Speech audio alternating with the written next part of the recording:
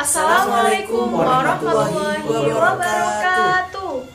Halo semuanya, apa kabar? Yang terhormat Dewan Juri, yang kami hormati, para panitia lomba, dan teman-teman yang sedang menyimak video kami.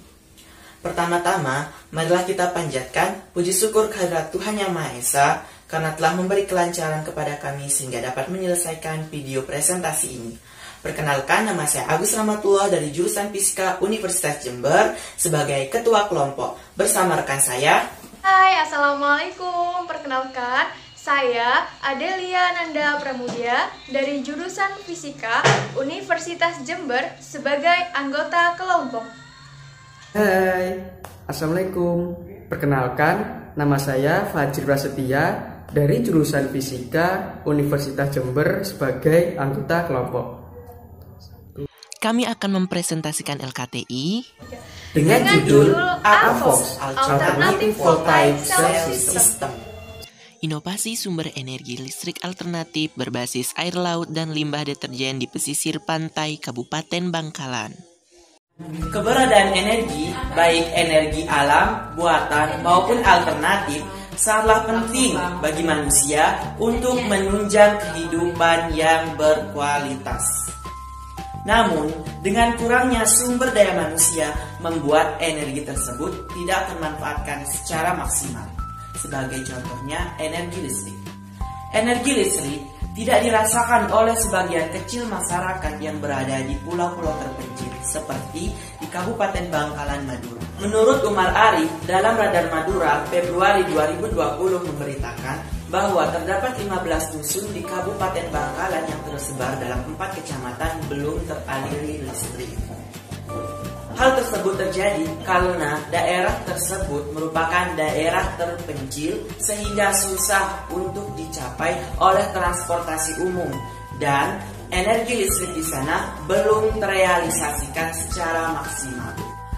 Menurut Kementerian Energi dan Sumber Daya Mineral tahun 2014, Provinsi Jawa Timur khususnya Pulau Madura memiliki elektrifikasi yang rendah dibandingkan daerah-daerah lain dengan rasio 59,02 persen.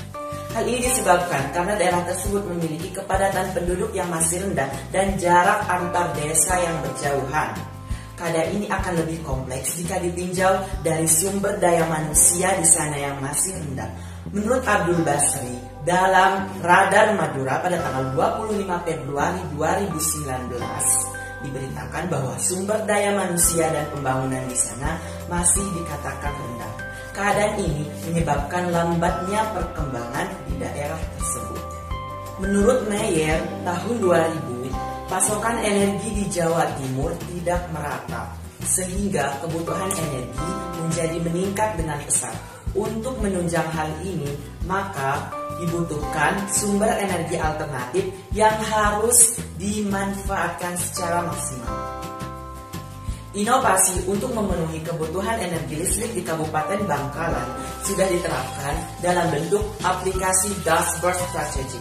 Hanya saja aplikasi ini hanya memetakan besar potensial listrik yang dihasilkan di Kabupaten Bangkalan dan hanya memberikan informasi besar penggunaan energi listrik yang ada di sana dalam bentuk visual yang dipantau langsung oleh user.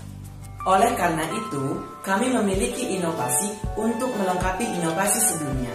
Inovasi tersebut adalah sumber energi alternatif dari sistem sel volta atau voltaic system yang digagas sebagai AVOS, Alternative Voltaic Cell System. Penerapan teknologi ini diharapkan dapat membantu pasokan energi listrik yang tidak merata di beberapa wilayah Kabupaten.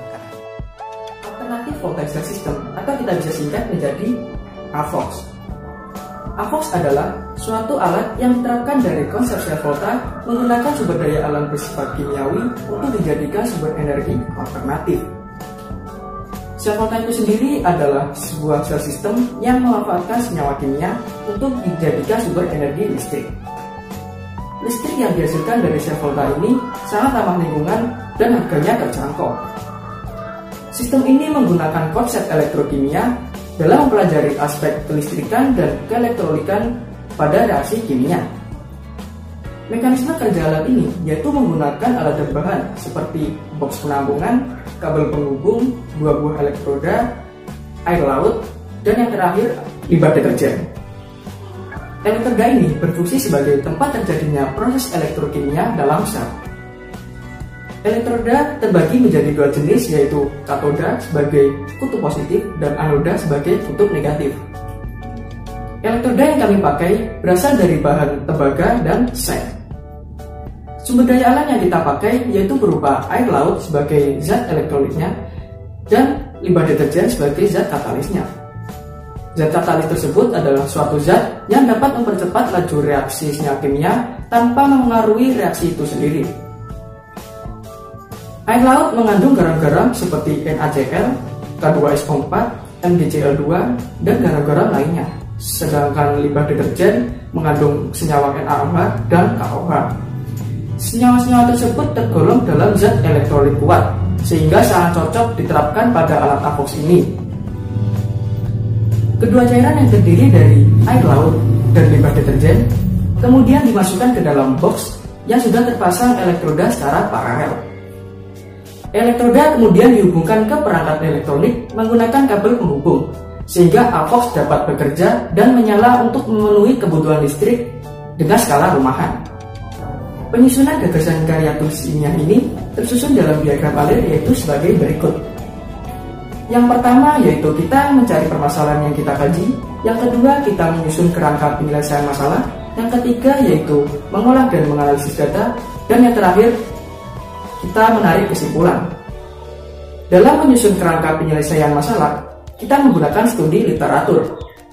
Di dalam studi literatur, kita mempelajari hasil-hasil penelitian yang sudah ada dan dikuatkan lagi dengan dasar teori dari berbagai sumber. Dengan memperhatikan keempat tahapan ini, kita bisa menjawab solusi dari permasalahan yang kita kaji.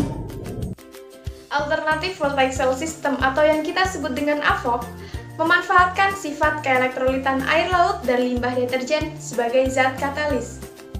Seperti yang sudah dijelaskan sebelumnya, bahwa arus listrik yang mengalir dalam konsep ini berasal dari air laut dan limbah deterjen.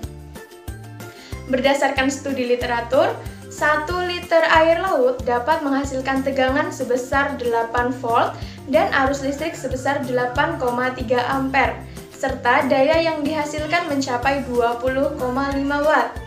Sehingga apabila terdapat 50 liter air laut, maka akan menghasilkan daya sebesar 1025 watt.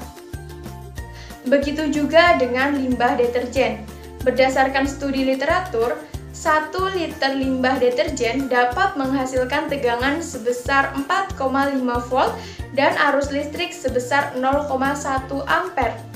Dan daya yang dihasilkan mencapai 0,09 watt. Sehingga apabila terdapat 50 liter limbah deterjen akan menghasilkan daya sebesar 4,5 watt. Apabila kedua zat tersebut dikombinasikan, maka daya total yang dihasilkan mencapai 1029,5 watt. Berdasarkan analisis tersebut, masyarakat daerah terpencil di Kabupaten Bangkalan dapat menikmati adanya listrik. Mereka dapat menghidupkan 5 buah lampu dengan spesifikasi daya 14 watt, televisi dengan spesifikasi daya 100 watt, pompa air dengan spesifikasi daya 600 watt, dan rice cooker dengan spesifikasi daya 400 watt. Sehingga diharapkan dengan meningkatnya perkembangan arus listrik di daerah tersebut, kesejahteraan masyarakat juga semakin meningkat. Demikian video presentasi yang dapat kami sampaikan. Terima kasih telah menyimak video presentasi kami. Semoga bermanfaat. Mohon maaf apabila ada salah kata. Apabila ada jarum yang patah, jangan disimpan di dalam peti. Apabila ada kata-kata kami yang salah, jangan laporkan ke Pak Polisi. Wassalamualaikum warahmatullahi wabarakatuh. Universitas Jember Muda, karya berprestasi.